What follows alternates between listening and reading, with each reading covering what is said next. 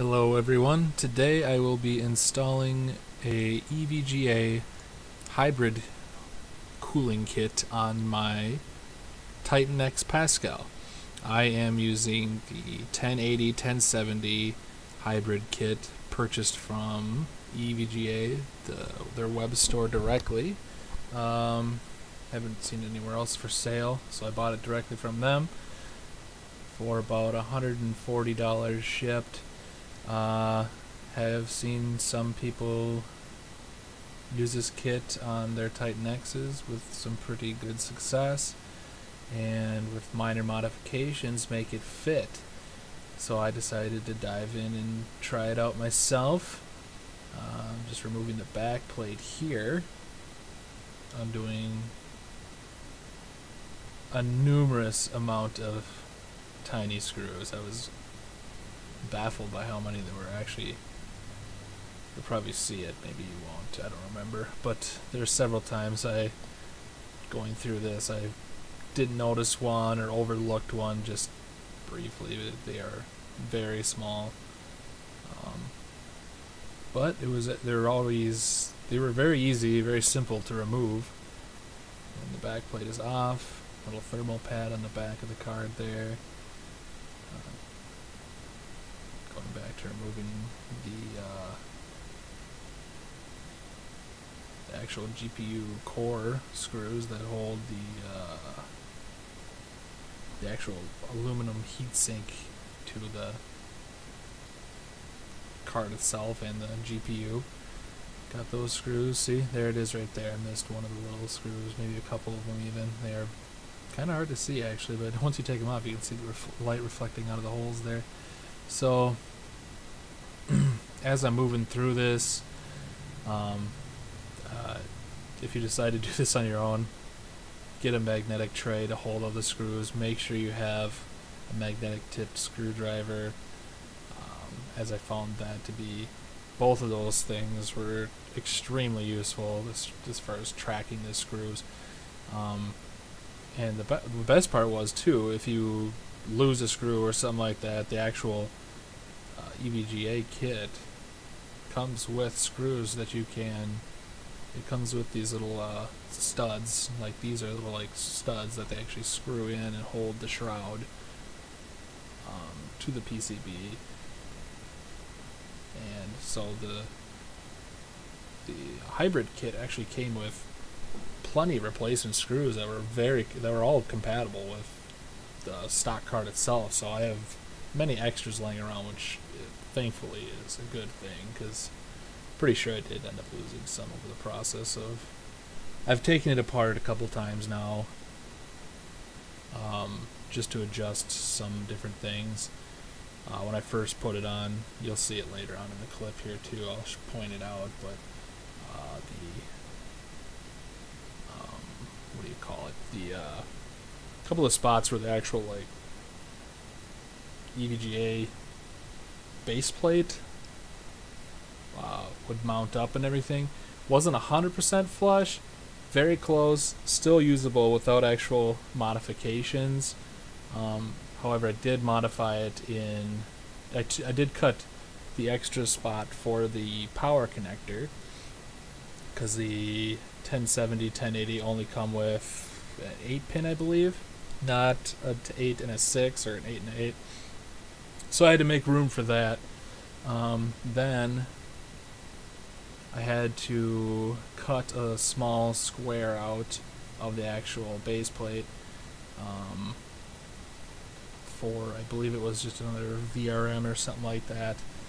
Uh, not a big deal, I just took a little hacksaw and cut that out. Um, I'll, I'll point that out when I get to that part too, but um, I forgot to take the, the uh, thumb screws off for the uh, DVI uh, port.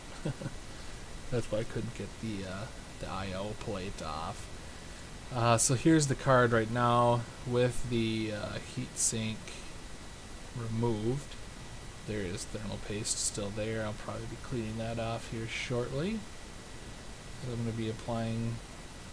I did end up using the thermal paste that came on the hybrid kit itself. Um, and since then I have actually replaced that a couple times. Uh, I think the first time I did this, I actually actually over tightened the screws, the mounting screws for the pump to the card itself.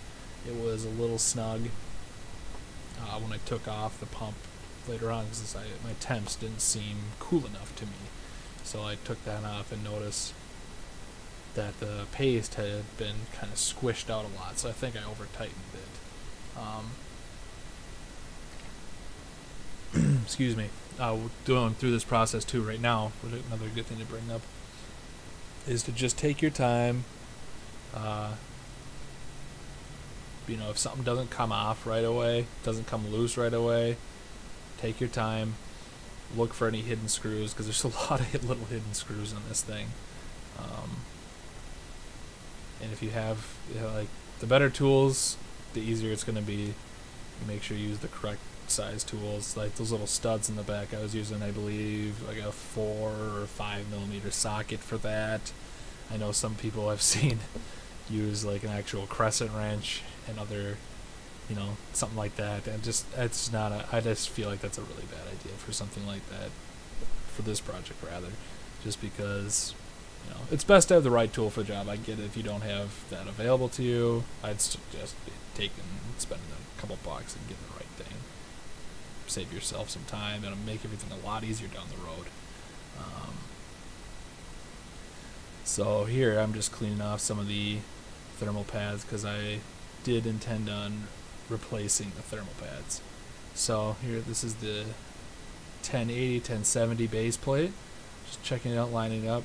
As you can see on the bottom there, I guess the closest to the camera, that little silver uh, VRM is going to be in the way.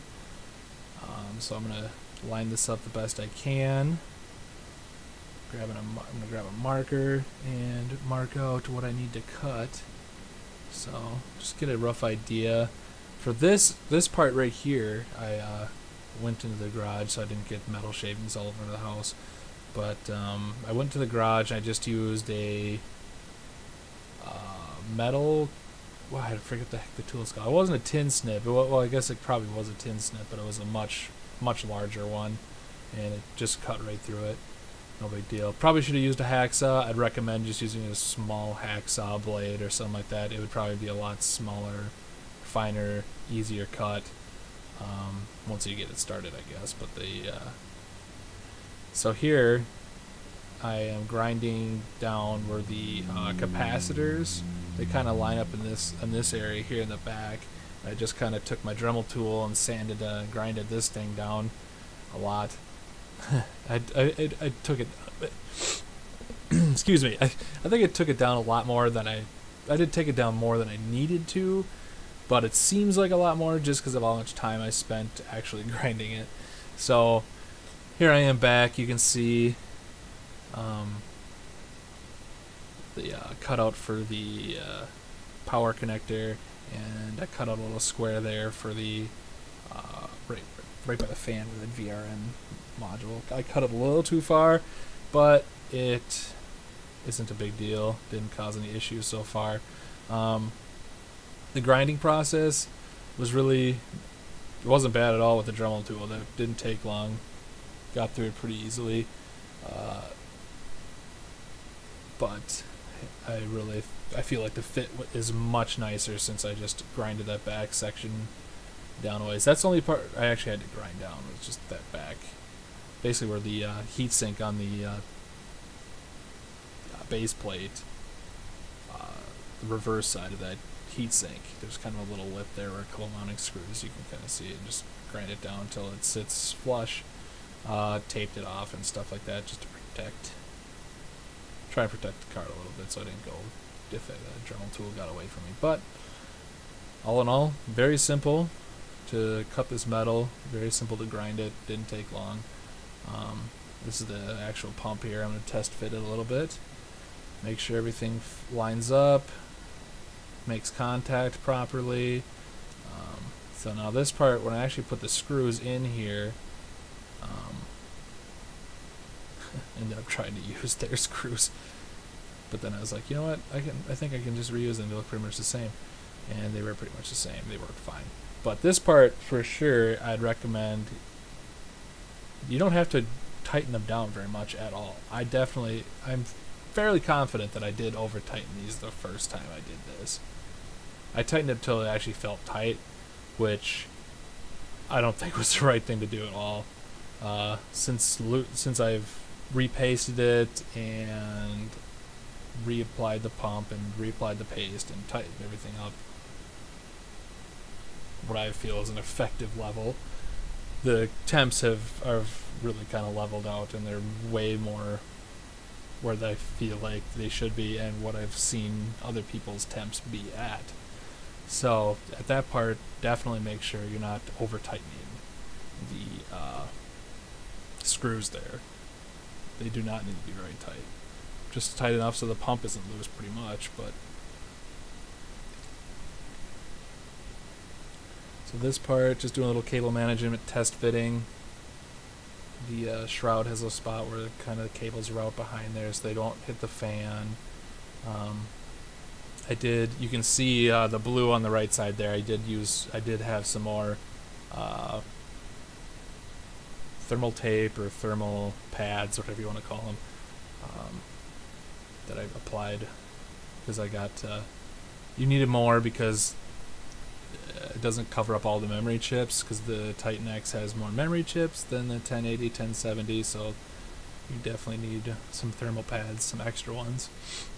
And probably to cover up a couple of VRMs too, just because there's extra ones of those as well. Um, this part was pretty simple. The shroud, you know, put the plug the wires in, uh, and then just basically just uh, put the shroud on with the screws, the uh, given screws, and pretty much good to go. Um, this is a part where I'm routing the cable kind of under, or yeah, under the underneath the hose, just so it looked a little cleaner. It didn't really seem to fit anywhere else. It wasn't really a good spot for this, the wire for the fan. Um, and then I have, yeah, that's pretty much I mean, the rest of this is pretty much it. You just kind of build it back up in reverse order.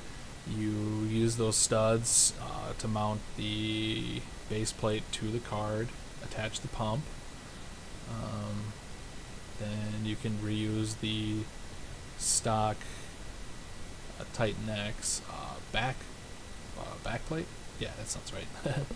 backplate, if you would like to use that. I don't think this kit came with a backplate. I don't recall. I didn't see it in the box, and I don't think I saw it advertised. But I preferred the Titan X backplate. Um, so far, the card is running great. A lot cooler. Um, way quieter. A lot cooler. Uh, when I was running it, um, before I decided to, you know, take this, because I feel like you know, a lot of people are like, "Hey, this is a risky project. You know, it's an expensive card," but I feel this kit is perfect. I don't even. I'm. I'd be surprised honestly if EVGA built a kit for the Titan just because I know several people that on the internet that have already used this kit on their Titans and are getting good results.